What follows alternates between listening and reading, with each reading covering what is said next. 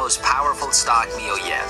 It's like for variable valve actuation. It helps ka sa aerox para ka nakasakay sa isang siguro.